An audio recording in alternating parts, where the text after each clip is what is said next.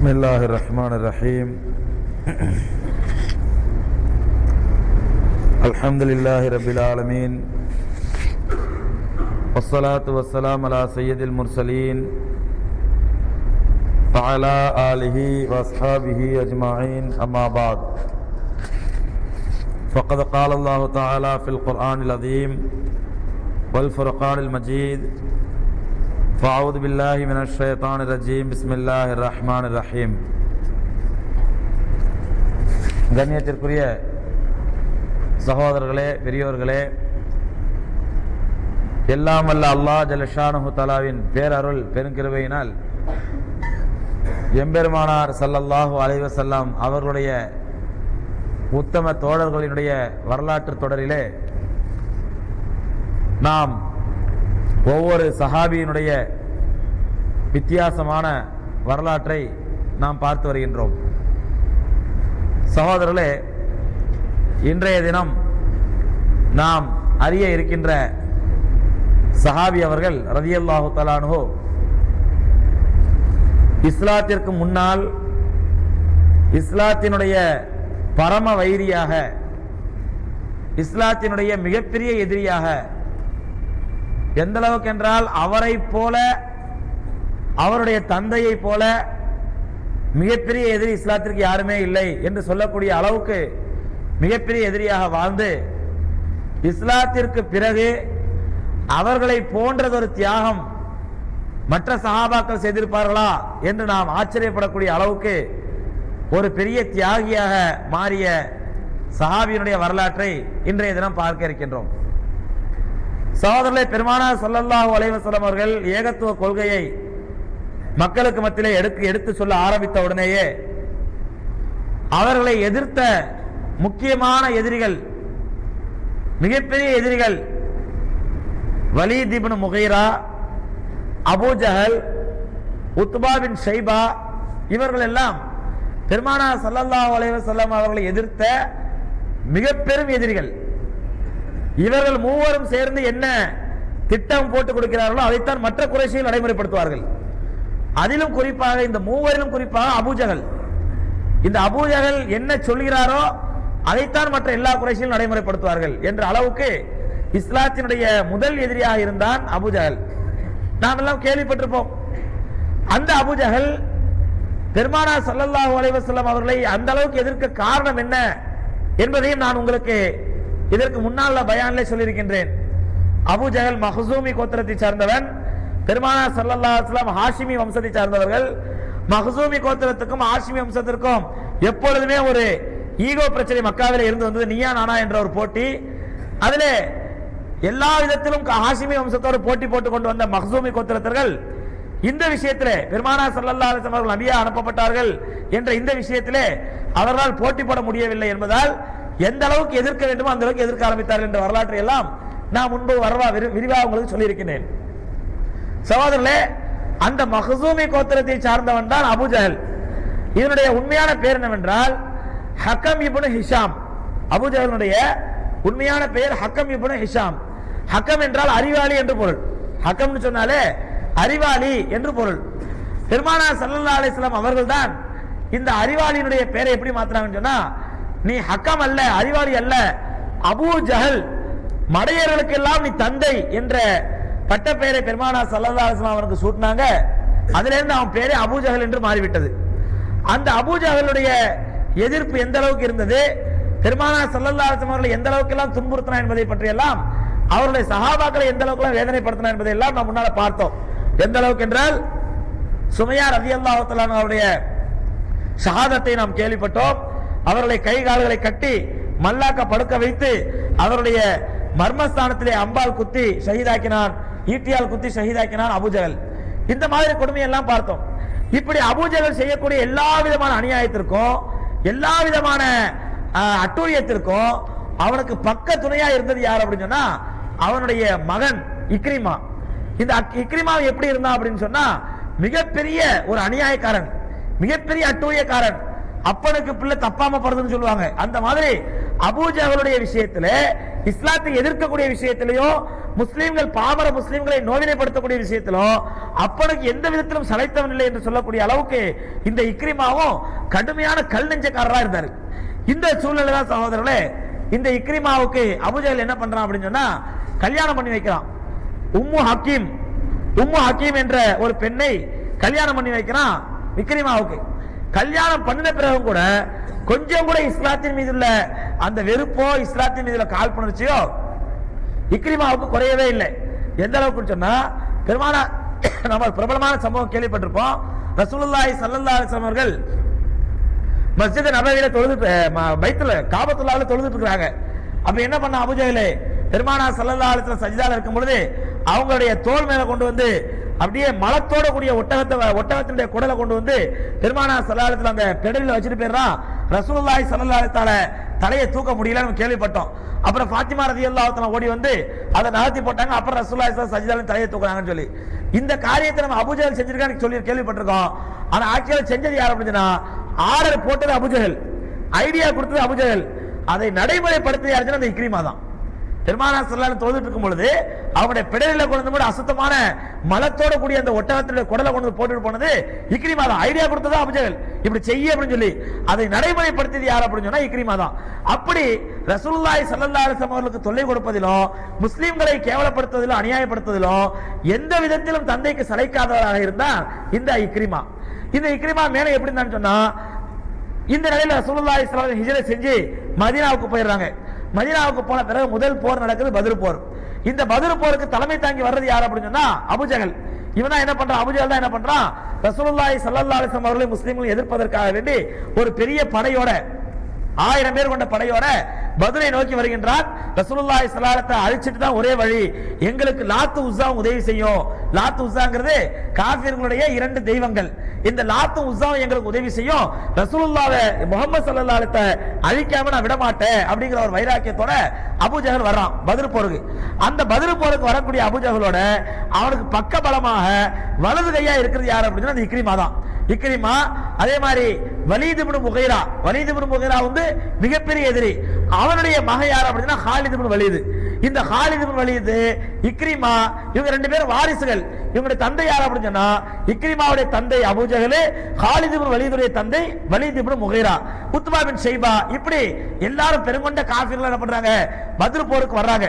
நம்ம கேள்விப்பட்டிருப்போம் பதில் போருடைய வரலாறு கேள்விப்பட்டிருக்கிறோம். ரசூலுல்லாஹி ஸல்லல்லாஹு அலைஹி வஸல்லம் அவர்கள் பதில் மைதானத்தில் வந்து தங்கின உடனே சஹாபிகள் என்ன பண்றாங்க?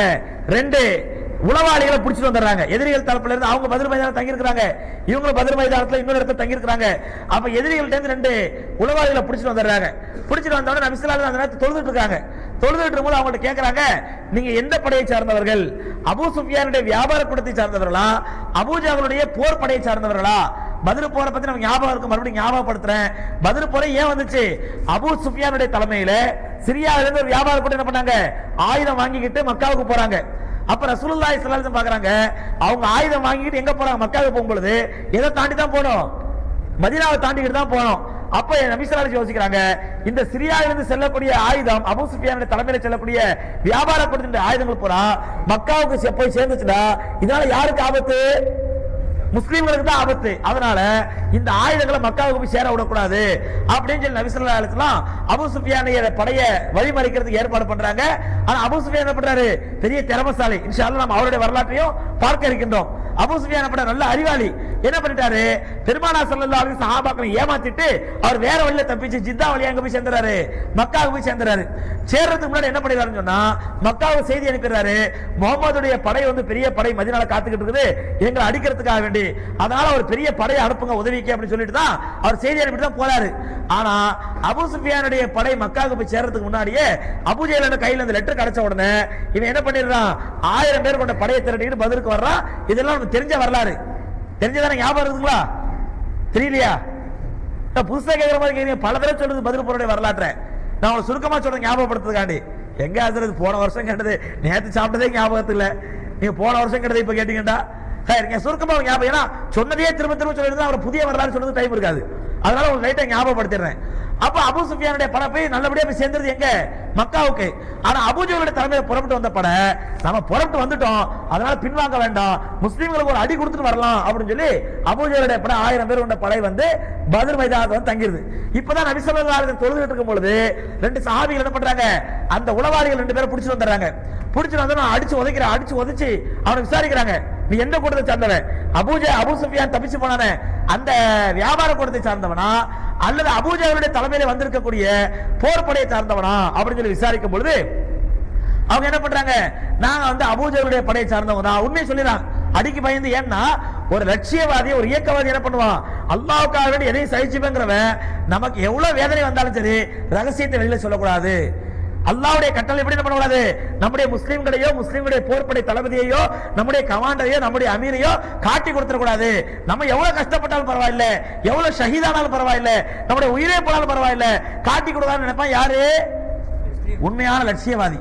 உண்மையான முஸ்லீம். ஆனா காசிற்கு என்ன ஒரு மண்ணு கிடையாது. என்ன பண்ணா சொல்லிட்டான். ரெண்டு அடி போட்டவனே உண்மையை சொல்லிட்டான். நான் அபுஜருடைய படையில வந்திருக்கேன் அப்படின்னு சொல்லி. ஆனா அலிரதி எல்லாத்துல விசாரிக்கிறாங்க. அலிரதி அல்லாவுக்கு என்ன சந்தேகம் சொன்னா இவன் போய் சொல்றான். இவன் யாரை சேர்ந்தவன்? அபு சுஃபியானுடைய கூட்டத்தை சார்ந்தவன்.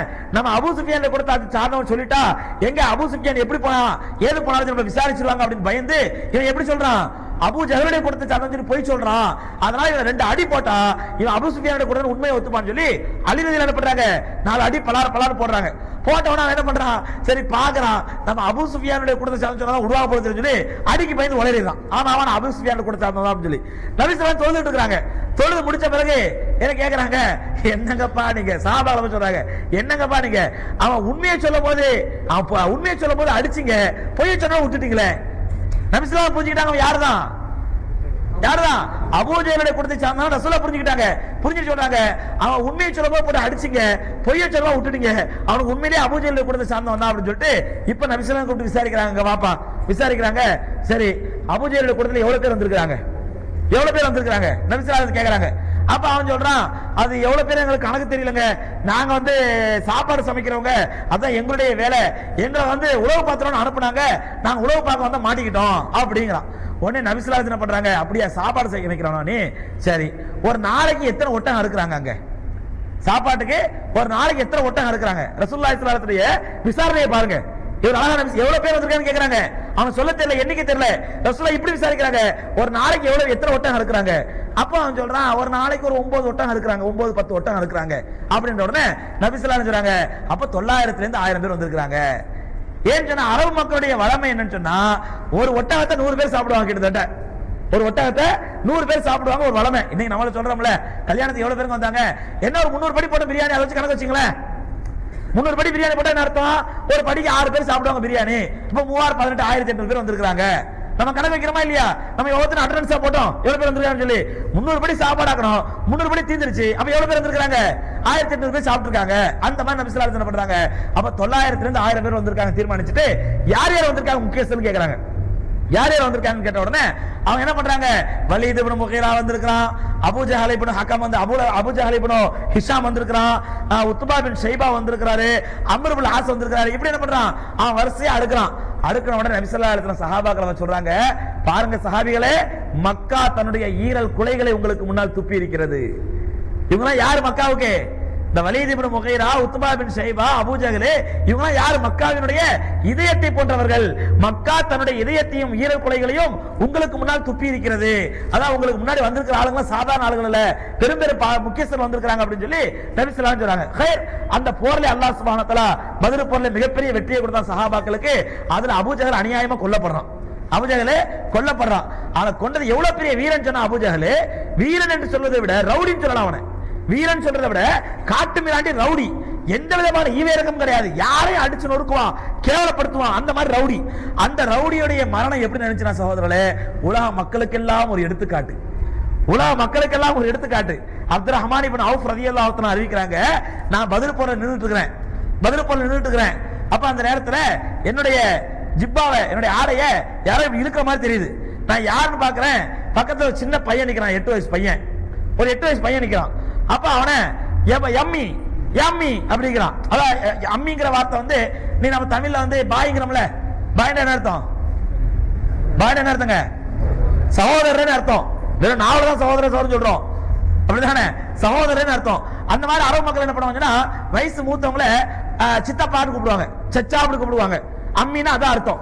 அப்ப அம்மி அம்மிங்கிறாங்க. என்ன அப்படின்னு கேக்குறாங்க? இங்க அபூஜகல் யாரு? யார் கேக்குறா? பெரிய ரவுடியை பத்தி எட்டு வயசு பையன் கேட்கிறாரு அபூஜகல் யார் அப்படின்னு சொல்லி.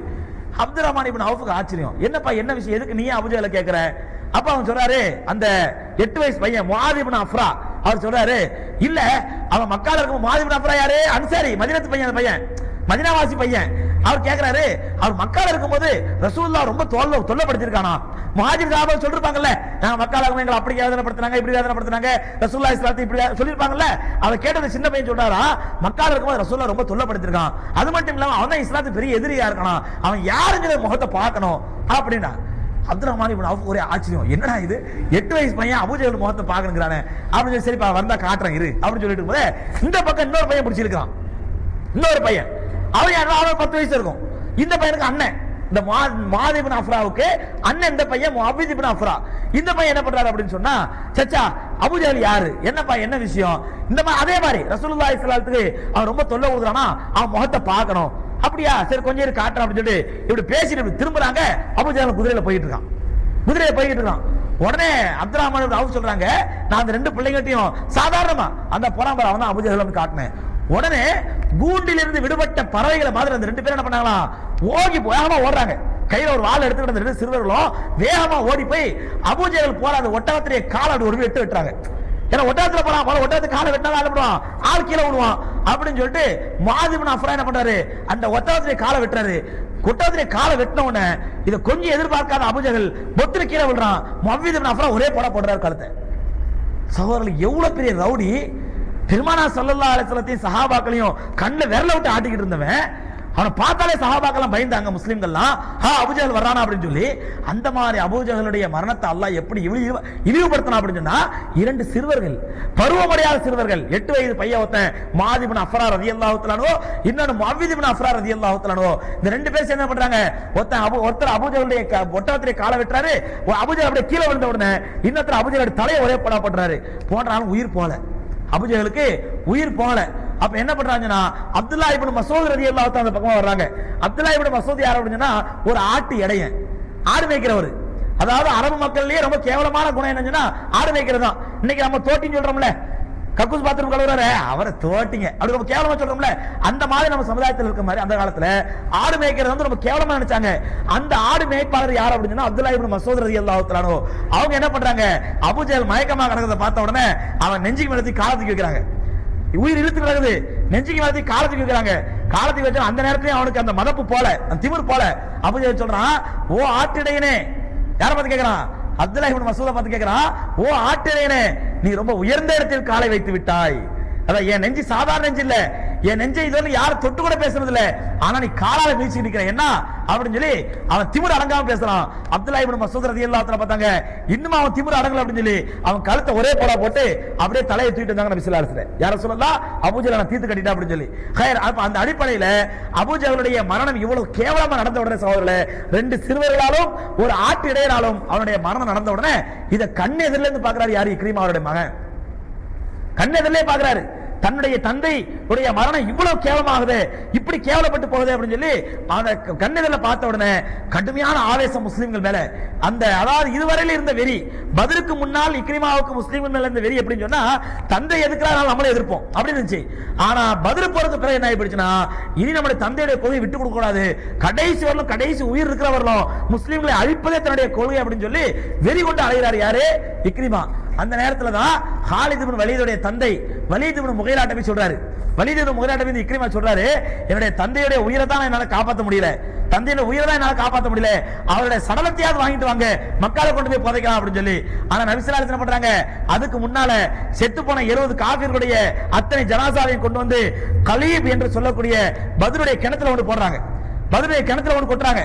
கொட்டிட்டு சொல்றாங்க யா ஐயுவல் குஃபார் ஓ காஃபிர்களுடைய தலைவர்களே குறைசியுடைய தலைவர்களே இன்னி வஜத்து மா வாத ரப்பி ஹக்கா. என்னுடைய ரப்பு எனக்கு வாக்களித்ததை நான் உண்மையாக பார்த்தேன். என்னுடைய ரப்பு எனக்கு உண்மையான வாக்களித்தான். அதை நான் பெற்றுக்கொண்டேன். ஹல் வஜத்தும் மா வாத ரப்புக்கும் ஹக்கா. உங்களுடைய ரப்பு உங்களுக்கு வாக்களித்ததை உண்மையாக பெற்றுக்கொண்டீர்களா?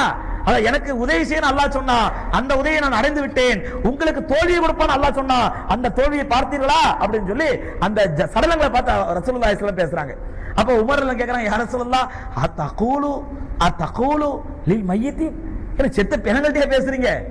செத்த பெணங்கள்கிட்டயே பேசுறீங்க? அப்படின்னு கேட்கும் பொழுது நபி ஸல்லல்லாஹு சொல்றாங்க உமரே இன்னக்கும் இன்னஹும் அஸ்மா மின்னி அலான்.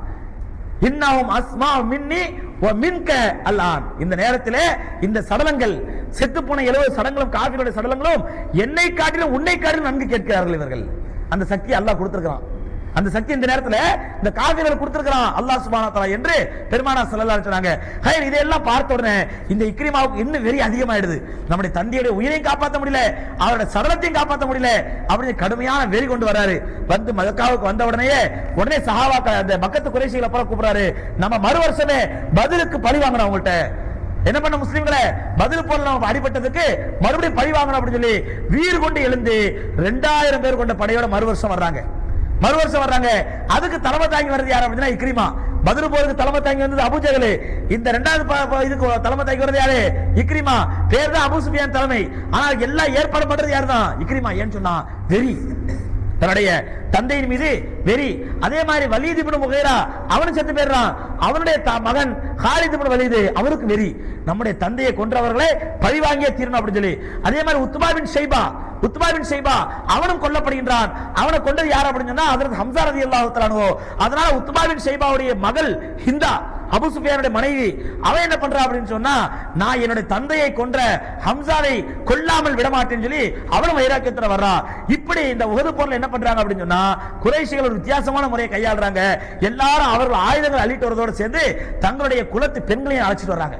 ஏன்னு சொன்னா அந்த பெண்கள் வந்து என்ன பண்ணுவாங்க போர் ஆரம்பிச்ச உடனே பின்னாடி இருந்து கொட்டை அடிச்சுக்கிட்டே நிற்பாங்க மூளை அடிப்பாங்க. ஏன்னு சொன்னா அப்படி அவங்க தப்பிச்சு கிப்பிச்சு ஓடி வந்து பயந்து போய் உயிருக்கு பயந்து ஓடி இருந்தாங்கன்னு சொன்னா இவங்க காரி துப்புவாங்க. அந்த ஆம்பளை முகத்தில் என்ன பண்ணுவாங்க? பொம்பளைங்க காரி துப்புறாங்க. சி நீங்களா ஒரு ஆம்பளைங்களா? போங்கடா அப்படின்னு சொல்லி விரட்டுவாங்க. இப்படி ரோஷம் ஏற்றுவதற்கான என்ன பண்ணாங்க? பொம்பளைங்களை அழைச்சிட்டு வந்தாங்க. அதுல அவ இக்ரிமாவுடைய மனைவி உம்மு ஹக்கீம் என்ன பண்றா? அந்த பொம்பளையும் வர்றா. அவளும் வந்து என்ன பண்றா? தன்னுடைய கணவனை ரோஷம் ஏற்றுறதுக்காண்டி உன்னுடைய தந்தையை கொன்றவனை நீ விடக்கூடாது. நீ தேடி கண்டுபிடிச்சு கொலை செய்ய அப்படின்னு சொல்லி வெறி ஏத்தி வர்றாங்க. சோலை அந்த உகது போரில் நடந்த சம்பவம் நமக்கு தெரியும். ரசூலுல்லாஹி சல்லல்லா அலைஹி என்ன பண்றாங்க? சஹாபாக்கள் எல்லாத்தையும் வரிசைப்படுத்தி நிக்க வச்சுட்டு ஒரு மேல மலை உச்சியின் மேல ஒரு கால்வாய் அதாவது கணவாய் மலை ரெண்டு மலைகளுக்கு மத்தியில் உள்ள பகுதி. அங்க என்ன பண்றாங்க? ஜாபிர் பின் அப்துல்லா ரதி தஆலா தலைமையில 50 பேர் கொண்ட குழு அங்க நியமிச்சு இந்த என்னுடைய மறு உத்தரவு வரும் வரை இந்த மலையை விட்டு இறங்க கூடாது ஆர்டர் போடுறாங்க ஆனா அந்த சஹாபாக்கள் என்ன பண்றாங்க? ஓது பொருள் அல்லாஹ் சுபாத்திர முஸ்லீம்களுக்கு பெரிய வெற்றியை கொடுக்குறான். எதிரிகள்லாம் பயந்து ஓடிடுறாங்க. பயந்து ஓடினவன சகோதரர்களே இந்த 50 பேர் என்ன பண்றாங்க? கீழே இறங்க வர்றாங்க. அப்ப அமீர் சொல்றாரு ஜாபிர் இப்னு அப்துல்லா ரலியல்லாஹு தஆலா சொல்றாங்க ரசூலுல்லாஹ்வுடைய கட்டளை என்ன? அடுத்த உத்தரவு வரும் வரை இங்க இருந்து இறங்க கூடாதுங்கிறது நம்ம போக வேண்டாம் தடுக்கிறாங்க. ஆனா சகோதரர்களே மொத்தம் 11 பேர் தான் அமீருடைய பேசி கேக்குறாங்க. மத்த 39 பேர் என்ன பண்றாங்க? மலையை விட்டு இறங்கிறாங்க போர் முடிஞ்சு போச்சுல்ல அப்புறம் என்ன? போர் முடிஞ்சு போச்சுல்ல அப்புறம் என்ன அப்படின்னு சொல்லி இறங்கி வந்துடுறாங்க. இன்னைக்கு நம்மள பாக்குறோம்ல யாராவது ஒரு அமீர்னு சொல்லிட்டு போவாங்க. ஒரு பேச்சு பேசுவாங்க. ஒரு முடிவானா? அமீர் ஏதாவது முடிவு பண்ண வச்சுங்க அந்த முடிவை ஏத்துக்கிறதே இல்லை. கேட்கறதே கிடையாது. அவங்க பாட்டு பிச்சுட்டு போயிருது எங்கேயாவது இந்த பக்கமாவது. யான் இந்த பக்கம் போறேன் நீ இந்த பக்கம் போற அப்படின்னு சொல்லி. அப்ப அந்த மாதிரி சகோதரர்களே அந்த முப்பத்தொன்பது சகாபாக்கள் பண்ணாங்க? அமீருடைய பேச கேட்காம இறங்கி வந்தாங்க. திரும்பி ஓடின குறைசிகள் மக்கத்து குறைசிகள் பயந்து ஓடுறாங்க இல்லையா? ரொம்ப தூரம் போன பிறகுதான் இக்ரிமா ஓடிக்கிட்டு இருக்காரு வேகமா பயந்துகிட்டு. கூடயே ஹாலித் வழி ஓடுறாரு. ரெண்டு பேரும் பாத்துக்கிறாங்க அடே ஹாலித் நீயுமா ஓடுற? என்ன இக்ரிமா நீயமா ஓடுற? ரெண்டு பேர் நிக்கிறாங்க. நின்று ஆலோசனை பண்றாங்க. நம்ம ஓடக்கூடாது. நம்மளே ஓடணும்டாக்கா நம்முடைய எல்லா படையும் ஓடி போயிடும். அதனால ஒரு ஆலோசனை பண்ணலாம்னு சொல்லி இக்ரிமாவும் ஹாலிதும் வலிதும் ஆலோசனை பண்றாங்க. நம்ம அதை பின்பக்கமா வந்து தாக்கலாம். மலைக்கு பின்னாடி தான் தாக்கலாம் அப்படின்னு வரும்பொழுது அவங்க திட்டம் போட்டு மலைக்கு பின்னாடி அந்த கணவாய் வழியா வரும்போது கணவாய் வலியை எதிரில் அவர்களை எதிர்ப்பதற்கு சரியான படை இல்லை. அந்த 50 பேர் நின்று என்ன பண்ணிருப்பாங்க? பன்மையை எதிர்த்திருப்பாங்க அவங்க ஓடி போயிருப்பாங்க. ஆனா அங்க 39 பேர் இறங்கிட்டதுனால 11 பேர் தான் இருக்கிறாங்க. அந்த 11 பேரையுமே ஷஹீதாக்கிட்டு அதை காலிதும் வலிதும் இக்ரிமாவும் அந்த கணவாய் வழியா உள்ள பூந்து சகோதரர்களே பின்பக்கத்திலே சஹாபாக்கள் அடிக்கிறாங்க. சஹாபாக்களுடைய திடீர் தாக்குதல் தாங்க முடியல. செதை ஓடுறாங்க. அல்லாஹ் சுபானத்தலா வெற்றியாக கொடுத்த வெற்றியை தோல்வியா மாத்திட்டான். தோல்வியா மாத்திட்டான். காரணம் என்ன? பெருமானா சொல்லல்லாத ஒரு கட்டளையை மீறினதுனால. பெருமானாருடைய ஒரு கட்டளையை மீறினதுனால கொடுத்த வெற்றி அல்லாஹ் பிடிங்கிடப்பட்டான் தோல்வியா மாத்திட்டான். அதுல எழுபது சஹாபாக்கள் ஷஹீதாக்கப்பட்டாங்க. எழுபது சஹாபாக்கள் அது யாரு? எப்படிப்பட்ட சஹாபாக்கள்? பெருமானார் சல்லல்லாஹு அறிய சிறுமை சிறிய அருமை சிறிய தகப்பனார் ஹம்சா ரதி அல்லாஹுத்தானு பெரிய தாப்பனார் ஹம்சா ரதி அல்லாஹுத்தானோ அதே மாதிரி முசாபி இப்னு ரதி அல்லாஹுத்தானோ இந்த மாதிரி பெரும் பெரும் சஹாபாக்கள் ஷஹீதாக்கப்படுறாங்க பெருமானா சல்லல்லா அலைஹி அவர்கள் மேலே என்ன பண்றான்? ஒரு காஃபி வந்து பெருமானா சல்லல்லா தலையில வெட்டுறான். தலையில வெட்டுறான். வெட்டான தலஹாரதி ரதி அல்லாஹு அந்த வெட்ட ரசூலுல்லாவுடைய தலையை வெட்டக்கூடிய அந்த கத்தியை அப்படி தடுத்து விடுறாங்க. தடுத்ததுல அவங்களுடைய அந்த அஞ்சு விரலும் அப்படி துண்டா போயிடுது. துண்டா போயிடுது. அப்படி தடுத்து விட்டதுல என்ன ஆயிடுச்சு அப்படின்னு சொன்னா பெருமானா சல்லல்லாலத்துடைய தலையில விழுந்த வாள் அதுல தலஹாரதியை தட்டி விட்டதுனால அப்படியே தோல்ல விழுந்துருது. தோல்ல விழுந்தவன் என்ன சொன்னா நபிசுல்லா கவச ஆடை அணிஞ்சிருக்காங்க கவச ஆடை அணிஞ்சிருக்காங்க. அந்த தோளுடைய க- அந்த அணிஞ்சிருக்கக்கூடிய அந்த கவச ஆடை மேல அந்த கத்தி விழுந்து எவ்வளவு ஃபோர்ஸா விழுந்துச்சுன்னா அந்த கத்தி விழுந்ததுல அந்த கவச ஆடையில இருந்து ஒரு கம்பி உடஞ்சி அந்த கம்பி இந்த இடத்த குத்துது நபிசுல்லாஹு குத்துன உடனே அது இப்படி இந்த வழியா வெளியே வாய் வழியா வெளியே வந்து ரசூலுல்லாஹி ஸல்லல்லாஹு கடவாப்பால் துண்டா வெளியே வந்து விழுந்துருது. சகோதரர்களே அவ்வளவு வேதனைக்கு ஆளாக்கப்பட்டார் சஹாபாக்கள் ரசூலுல்லாஹி இஸ்லாத்திலும் காரணம் என்ன அப்படின்னு சொன்னா பெருமானாருடைய ஒரு வாக்கை சஹாபாக்கள் மறந்ததுனால. ஒரு கட்டளையை சஹாபாக்கள் மீறினதுனால ஹைர் அதற்கு பிறகு பெரிய வெற்றி கிடைக்குது. அதற்கு பிறகு போறாங்க. மறு வருஷம் Abu Sufyan Khalid ibn Ikrima எல்லாருக்கும் ஆலோசனை பண்றாங்க. நம்ம இனி சும்மா விடக்கூடாது. நம்ம பதிரில் அடிச்சதுக்கு அடி வாங்கினதுக்கு உகதுல பழி வாங்கியாச்சு. அங்க நம்மள எழுபது பேர் கொல்லப்பட்டாங்க. உகதுல அவங்கள எழுபது பேர் கொல்லப்பட்டாச்சு. அதனால பழிக்கு பழி வாங்கிட்டோம். ஆகவே இனிமே நம்ம விடக்கூடாது. அடுத்து ஒரு ஸ்ட்ராங்கான ஒரு அடி அடிக்கணும். அடிச்சிட்டோம்டா. இதோட முஸ்லீம்களை அடங்கிடுவாங்க நம்ம கிட்ட வரமாட்டாங்க அப்படின்னு சொல்லி ஒரு பெருங்கொண்ட படையை திரட்டுறாங்க. அந்த படைக்கு பேர் தான் ஹந்தக் யுத்தம்னு பேரு. ஹந்தக் யுத்தம் அகல் யுத்தத்துக்கான ஏற்கனவே சொன்னவங்க அகல் யுத்தத்தில் வரலாறு. பெரிய அகல் தோன்றாங்க மதினாவை சுத்தி. அதை சல்மான் பின் ஃபாரிஸ் ரதி தஆலா தான் அந்த ஐடியா கொடுத்தாங்க அப்படின்னு சொல்லி. அப்ப 25000 பேர் கொண்ட படையோட அகல் யுத்தத்துக்காண்டி வர்றாங்க. அதுலயும் தலைமை தாங்கி வர்றது யார்? அபு சுஃபியானே முன்னிலை வகிக்கிறது இக்ரிமா. அதிலே முன்னிலை வைக்கிறது யார் தான் இக்ரிமா தான் இப்படி எல்லா விதத்திலும் பெருமானா சல்லல்லாஹுக்கு வன்மையான தொந்தரவுகளை கொடுத்தவர் இந்த இக்ரிமா ஹயர் இக்ரிமா வந்து தொல்லை கொடுக்கக்கூடிய நேரத்தில் சகோதரர்களே வந்து பார்க்குறாரு மக்காவை சுத்தி அகல் தோண்டி இருக்குது எப்படி மக்கா மதினாவை சுத்தி அகல் தொண்டிருக்குது எப்படி மதினாவுக்குள்ள போறதுனே தெரியல. அப்போ படைகள் என்ன பண்றாங்க? அமைதியா உட்காந்துக்கிறாங்க சரி நம்ம கொஞ்சம் வெயிட் பண்ணி பார்ப்போம். ஆலோசனை பண்ணுவோம் சொல்லி. ஆலோசனை பண்றாங்க பண்றாங்க பண்றாங்க பண்றாங்க. பதினஞ்சு நாள் ஆச்சு. எந்த விதமான போர் ஆரம்பமாகல. சாபாக்கள் அகலுக்கு உள்ள இருக்கிறாங்க. காஃபிர்கள் அகலுக்கு வெளியில இருக்கிறாங்க. எப்படி உள்ள போறது எப்படி சண்டை ஆரம்பிக்கிறது தெரியல. பதினஞ்சு நாள் பொறுத்துட்டு இருக்காங்க இக்ரிமா என்ன பண்றாருன்னு சொன்னா அவருடைய வெறி ஆவேசம் தாங்க முடியாம போங்கப்பா நீங்க பொறுத்துட்டு இருக்கிறீங்க. நான் பொறுக்க தயாரா இல்ல. நான் என்னுடைய குதிரையில பேர் பண்ண போறேன் அந்த அகலை தாண்ட போறேன் அப்படின்னு சொல்லிட்டு ஒரு நாலு பேரை துணைக்கு அழைச்சிக்கிட்டு அகலை தாண்டுறாரு. குதிரையில போய் என்ன பண்றாரு? அகல தாண்டுறாரு. அவர் தாண்டுற இடத்துல அதற்கு அலி ரதி அல்லாஹ் அகலுடைய பாதுகாப்புக்காக நிக்கிறாங்க. அப்படி தாண்டி வர்றவருக்கும் இக்ரிமாவுக்கும் அலி ரதி கடுமையான போர் நடக்குது சண்டை நடக்குது. கொஞ்ச நேரத்துல இக்ரிமா தப்பிச்சு ஓடி போயிடுறாரு. ஆனா இக்ரிமா கூட வந்த இக்ரிமா கூட வந்த அம்ரிபனு அப்து உத்தல் உஸ்ஸா என்று சொல்லக்கூடிய அந்த காஃபிரு அவன் மட்டும் கொல்லப்பட்டுறான். இப்படி பெருமானா சல்லல்லா அலிஸ்லத்துக்கு எல்லா விதத்திலும் தொந்தரவு கொடுத்து வந்த தொல்லை கொடுத்து வந்த இக்ரிமா பெருமானா சல்லல்லா அலிஸ்லம் அவர்கள் ஹிஜ்ரி எட்டாம் ஆண்டு ஹிஜ்ரி எட்டாம் ஆண்டு ஹிஜ்ரி பத்தாம் ஆண்டு பத்தாய மக்கா ஏற்படுகின்றது. பத்தய மக்கா. இந்த பத்தய மக்கா மக்கத்து வெற்றி நடக்குது. மக்கத்து வெற்றியின் போது நபி சொல்லா பண்றாங்க? அதுக்கு முன்னாடி ஹிஜிரி ஆறாம் ஆண்டு ரசூலுல்லா ஸல்லல்லாஹு அலைஹி உம்ரா காடி வர்றாங்க. நம்ம கேள்விப்பட்டிருப்போம். நபி சொல்லா கனவு காண்றாங்க. சஹாபாக்களோட உம்ரா செய்யற மாதிரி அப்ப அல்லாடைய கட்டளை நிறைவேற்றுறதுக்காண்டி உம்ரா காடி வர்றாங்க. அப்படி உம்ரா காடி வரும்போது மக்கத்து குறைசிகள் ஆலோசனை பண்றாங்க. உம்ராவுக்கு வர்றவங்கள மக்காவுக்குள்ள அலோவ் பண்ணலாமா வேணாமா? அனுமதிக்கலாமா வேணாமான்னு சொல்லி ஆலோசனை பண்ணும்பொழுது அதுல சில பேர் சொல்றாங்க அவங்க எந்த ஆயுதம் இல்லாம உமரா காண்டி தானே வராங்க செஞ்சுட்டு போட்டோம் அப்படின்னு சொல்லி. ஆனா இக்ரிமா தான் ரொம்ப ஸ்ட்ராங்கா நிக்கிறாரு நம்ம விடவே கூடாது அப்படின்னு சொல்லி. விடவே கூடாது. முகமது சாதாரண ஆள் இல்ல. நம்முடைய முதல் எதிரி அவரை மக்காவுக்குள்ள விட்டோம்டாக்கா நம்ம அடங்கி போயிட்டதாயிடும் அதனால விடவே கூடாதுங்கிறதுல ரொம்ப ஸ்ட்ராங்கா உறுதியா இருக்கிறாரு இக்ரிமா கடைசியில் அவருடைய பேச்சு தான் ஜெயிக்குது. அவருடைய பேச்சா ஜெயிக்குது. அந்த நேரத்துல தான் பெருமானா சல்லல்லா அவர்களுக்கு மக்கத்து குறைசிகளுக்கு மத்தியிலே சுலஹை ஹுதைபியா என்று சொல்லக்கூடிய ஹுதைபியா உடன்படிக்கை நடக்குது. ஹுதைபியா உடன்படிக்கை அப்ப அந்த உடன்படிக்கைக்கு முக்கியமான காரணம் யார் அப்படின்னு சொன்னா பெருமானா சல்லல்லா அலிசம் அவர்களை மக்காவுக்குள்ள வர விடாம உம்ரா செய்ய விடாம தடுத்ததுல முக்கிய பங்கு யாருக்கு அப்படின்னு சொன்னா இக்ரிமாவுக்கு தான் இப்படி எல்லா இடத்திலும் பெருமானா சல்லல்லா அலிசம் அவர்களுக்கு எதிரியா இருந்த இக்ரிமா மக்கத்து வெற்றியின் போது பெருமானா சல்லல்லா அலிசம் மக்காவுக்குள்ள வர்றாங்க. வெற்றி வீரராக நுழைகிறார்கள். ரசூலுல்லா ஸல்லல்லாஹு மக்காவுக்குள்ள நுழைஞ்ச உடனே ஒரு அறிவிப்பு செய்றாங்க. என்ன அறிவிப்பு செய்யுமா? யா அஹ்ல மக்கா ஓ மக்காவாசிகளே லா தஸ்ரீப அலைக்குமுல் யௌம். இன்றைய தினம் உங்கள் மீது எந்த விதமான பழிவாங்குதல் நடவடிக்கையும் கிடையாது. ஏன் ஜன சகோதரர்களே ஒரு பெருங்கொண்ட பத்தாயிரம் பேர் கொண்ட ஒரு ராணுவ படையோட பெருமானா சல்லல்லாஹு மக்காவுக்குள்ள நுழைக்கிறாங்க. எப்படிப்பட்ட மக்கா? எப்படிப்பட்ட மக்கா? பெருமானா சல்லதாரத்துக்கு இப்படித்தான் வேதனை கொடுக்கணும் என்று வரையறை இல்லாத அளவுக்கு ரசூலுல்லாஹுக்கு வேதனை கொடுத்த மக்கா. அந்த மக்காவுக்குள்ள நுழைறாங்க நுழைஞ்சா என்ன அராஜகம் அங்கே நடக்கணுங்க? என்ன அராஜகம் நடக்கணும்? ஏன் சொன்ன சகோதரர்களே இன்னைக்கு உலக வரலாற்றை பார்க்கிறோம். எந்த ஒரு பகுதியுமே எந்த ஒரு ஊருமே ராணுவத்தினுடைய கட்டுப்பாட்டுக்கு போயிடுச்சு அப்படின்னு சொன்னா அங்க நடக்காத அநியாயம் கிடையாது நடக்காத அசிங்கம் கிடையாது. அந்த மாதிரி நடக்கும். நம்ம கேள்விப்பட்டிருப்போம். ஒரு பத்து பன்னெண்டு வருஷத்துக்கு முன்னாடி இந்தியாவினுடைய பிரதமர் ஒருத்தரும் அமெரிக்க இது இலங்கையுடைய ஜனாதிபதி ஒருத்தரும் அக்ரிமெண்ட் போட்டாங்க. எதுக்காண்டி? அங்க உள்ள தமிழர்களை காப்பாற்றுவதற்காக வேண்டி அங்குள்ள தமிழர்களை காப்பாற்றுவதற்காக வேண்டியும் விடுதலை புலிகளை அடக்கிறதுக்காக வேண்டியும் ஒரு அமைதிப்படையை அனுப்பணும் அப்படின்னு சொல்லி. ஞாபகம் இருக்குங்களா? அமைதிப்படை அனுப்புனாங்க. ஆனா சகோதரர்களே அமைதியை ஏற்படுத்துறதுக்காண்டி போன அந்த அமைதிப்படை அங்க போய் என்ன அராஜகம் பண்ணுச்சு அப்படின்னு சொன்னா ஒரு தமிழ் பெண்களுடைய கற்பை விட்டு வைக்கிறேன் ஏன்னா ராணுவம் கேட்கறதுக்கு ஆள் கிடையாது. எந்த போலீஸ் கேட்க முடியாது. எந்த கோர்ட்டு கேட்க முடியாது. அவங்க வச்சுதான் சட்டம் ஒரு தமிழ் பெண்களுடைய கற்பை விட்டு வைக்கல. ஒரு தமிழ் பெண்களை த- தமிழ் இளைஞருடைய உயிரை விட்டு வைக்கல. அப்படி அநியாயம் பண்ணாங்க அந்த அமைதிப்படை. அந்த செய்திலாம் வெளியே வரல. எப்ப தெரியுமா வந்துச்சு? அந்த அமைதிப்படை எந்த அளவுக்கு அராஜகம் நடத்தியிருந்தால் அந்த அமைதிப்படையை அனுப்பணும்னு சொல்லி ஒப்பந்தம் போட்ட ஒரு ஜனாதிபதியும் அந்த பாதிக்கப்பட்ட தமிழர்களால் கொல்லப்பட்டாரு. இந்த நாட்டு பிரதமரும் அந்த பாதிக்கப்பட்ட தமிழர்களால் கொல்லப்பட்டார். பார்த்தமா இல்லையா? நடந்துச்சா இல்லையா? மறந்து போச்சா? இல்ல அமைதியா இருக்க எந்த நாட்டு செய்தியை சொல்லிட்டு இருக்கீங்க தெரியுமா யார சொல்றேன் அப்ப எதுக்காண்டி சொல்றேன்னா எந்த ஒரு நாட்டிலையுமே அது ராணுவத்துடைய கண்ட்ரோல்ல வந்துருச்சு அப்படின்னு சொன்னா கேட்கறதுக்கு நாதி கிடையாது சகோதரர்களே. இன்னைக்கு அதே தான் காஷ்மீர்ல நடந்துட்டு இருக்கு காஷ்மீர்ல நடக்குது ராணுவ ராணுவம் செய்யக்கூடிய அநியாயம் கொஞ்ச நஞ்சம் அல்ல அங்க. அங்க மக்களுக்கு செய்யக்கூடிய அநியாயங்கள் கொஞ்ச நஞ்சம் அல்ல. நொந்து போயிருக்கிறாங்க. ஒரு இஸ்லாமிய தாய்மாருடைய கருப்பு அங்க மிச்சமாக இருக்கல.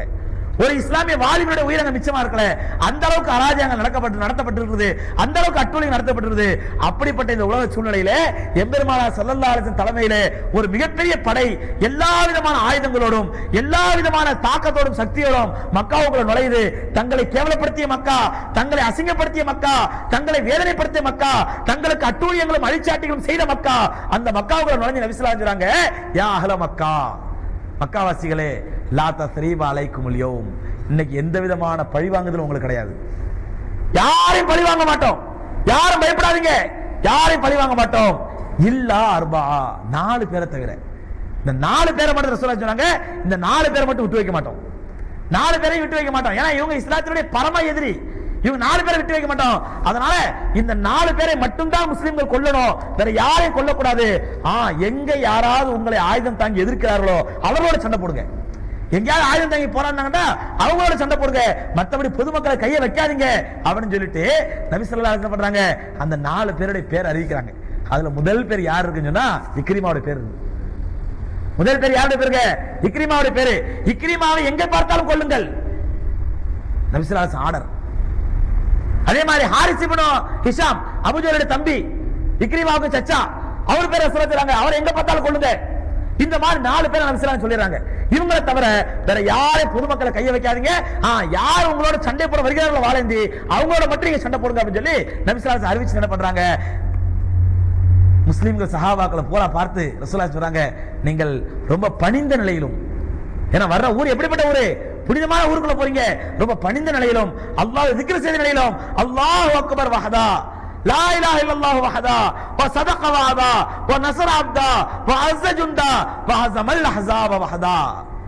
இந்த திக்ர் இருக்குதே. இது நபி ஸல்லல்லாஹு அலைஹி வஸல்லம் மக்கா வெற்றியின் போது ஓதுன திக்ர் இது. இது நம்ம ஞாபகமா எங்க ஓதுறோம்? பெருநாள் அன்னைக்கு ஓதுறோம்.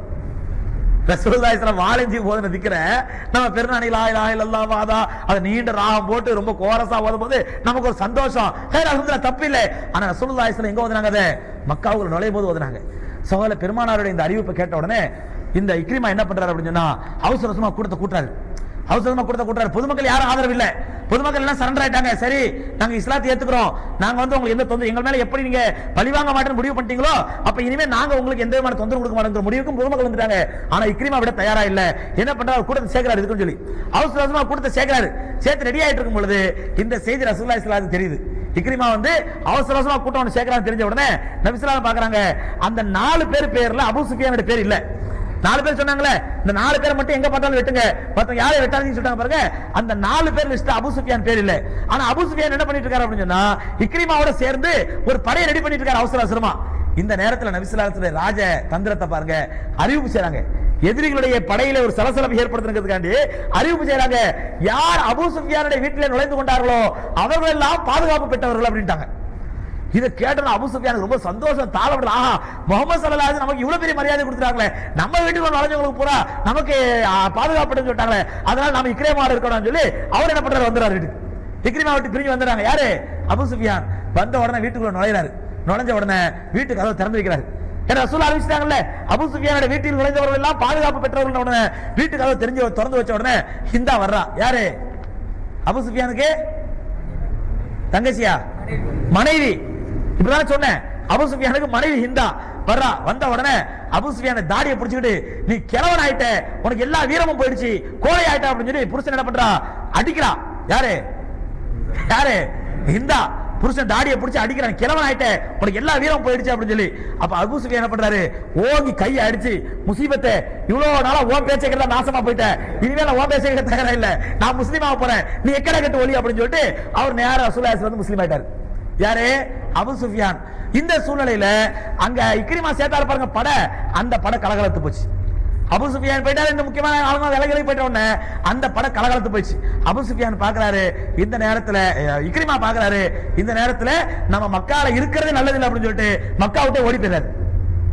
மக்கா விட்டே ஓடி எங்க போயிடறான்னு சொன்னா நேர ஜித்தாக்கு போய் செங்கடல் பகுதியில் போய் நிக்கிறாரு. இதுக்காண்டி யமனுக்கு போயிடலாம் எமன் தேசத்துக்கு போயிடலாம் அங்க வந்து காபிரோட ஆட்சி தான் இருக்குது. அங்க போதான் நமக்கு பாதுகாப்பு அப்படின்னு சொல்லி தப்பிச்சு நேர ஜித்தாக்கு போய் ஜித்தால செங்கடல் பக்கத்துல போய் நிக்கிறாரு. இந்த நேரத்துல சகோதரர்களே பெண்களுக்கு மத்தியில் ஒரு பெரிய சலசலப்பு ஏற்படுது. பெண்களுக்கு மத்தியில் ரசூலுல்லாஹி ஸல்லல்லாஹு ஆண்களுடைய படையை உடைச்சிட்டாங்க. இந்த நேரத்துல பெண்கள் படை என்ன ஆகுது அப்படின்னு சொன்னா ஹஜரத் ஆயிஷா ரலியல்லாஹு தஆலா சின்ன வயசு பொண்ணு. ஹஜரத் ஃபாத்திமா ரலியல்லாஹு தஆலா அன்ஹா இன்னும் நபி ஸல்லல்லாஹு ரெண்டு மூணு மனைவிமார்கள் அவங்க பெண்களுடைய பங்குக்கு அவங்கள விட்டு வைக்கல. என்ன பண்ணாங்க? வீடு வீடா போனாங்க. வீடு வீடா பிரிஞ்சு போனாங்க. ஆயிஷா வீட்டுக்கு ஃபாத்திமா வீட்டுக்கு. ஏற்கனவே எல்லாம் உறவு தானே? எல்லா வீடும் தெரியும் இல்லையா அந்த பத்து வருஷத்துக்கு அப்படியே மறுபடியும் ஊருக்குள்ள வந்திருக்காங்க எல்லார் வீட்டுக்கு போய் ஏமா இந்த மாதிரி இருக்கிறீங்க? உங்க புருஷ மாதிரி சொல்லி இஸ்லாத்தை ஏத்துக்க சொல்லுங்க. ஏன் இந்த மாதிரி பிரச்சனை பண்ணீங்க சொல்லி பெண்கள் அவங்களுடைய பங்குக்கு தாவா செஞ்ச உடனே சகோதரர்களே ஒரு பத்து பெண்கள் மக்காவினுடைய முக்கியமான பெண்கள் நபிசுலாத்துல வர்றாங்க. அதுல யார் அப்படின்னு சொன்னா உம்மு ஹக்கீம். யாரு? இக்ரிமாவுடைய மனைவி. ஹிந்தா. யாரு? அபு சுஃபியானுடைய மனைவி. இன்னும் ஒரு ஏழு எட்டு பெண்கள் என்ன பண்றாங்க? நேர நபிசுல்லாத்துல வராங்க. எங்கன்னு சொன்னா ரசூலுல்லாஹி ஸல்லல்லாஹு அலைஹி பக்கத்துல சஃபா மலை கீழே உட்காந்துக்கிறாங்க இன்னையும் பாத்தீங்கன்னா காபத்துல்லா பக்கத்துல சஃபா மலை ஹஜ்ஜுக்கு போனவங்க பார்த்திருக்கலாம். அந்த சஃபா மலை கீழே நபிசுல்லாஹு உட்காந்துருக்காங்க இந்த பத்து பெண்கள் வர்றாங்க. அதுல இந்த ஹிந்தா மட்டும் என்ன பண்றா அப்படின்னு சொன்னா முகத்தை புர்கா போட்டு மூடிட்டு வருது. போத்த புருக்கா போட்டு மூடிட்டு வருது. நபிசுலாம் கேக்குறாங்க யார் அந்த பொம்பளை? அப்படின்னு கேட்குறாங்க அப்ப அந்த பத்து பேரும் சொல்றாங்க யார சொல்லலாம் நாங்க வந்து பெரிய தப்பு பண்ணிட்டோம். இவ்வளவு நாளா வழிகாட்டில் இருந்துட்டோம். இனிமே நாங்க இஸ்லாத்தை ஏத்துக்க தயாரா இருக்கோம் யார சொல்லலாம் எங்களுக்கு இஸ்லாத்தை சொல்லி கொடுங்க உடனே ரசூலா ரொம்ப சந்தோஷப்படுறாங்க. சந்தோஷப்பட்டு எல்லாத்துக்கும் இஸ்லாத்தை சொல்லி கொடுத்துட்டு அந்த முகத்தை முடிக்க பெண் யார் அப்படின்ற உடனே அந்த பொண்ணு ஆட்டுறாங்க யார சொல்லலாம் நான் தான் ஹிந்தா பின் ஷைபா. ஷைபாவுடைய மகள் ஹிந்தா. உங்களுடைய சிறிய தகப்பனார் ஹம்சா ரதி அல்லாஹுத்தலான ஷஹீதாக்கணும் மட்டும் இல்லாம அவங்களுடைய முகத்தை வெட்டி துண்டு துண்டா ஆக்கி கண்ணை நோண்டி மூக்கை வெட்டி காதை வெட்டி சின்ன பின்னப்படுத்தினேன் அந்த பாவி நான் தான் யார சொல்லலாம் என்ன மன்னிச்சிருங்க நானே இஸ்லாத்தை ஏத்துக்கிறேன் அப்படின்னு உடனே ரசூலுல்லாஹி சந்தோஷப்படுறாங்க.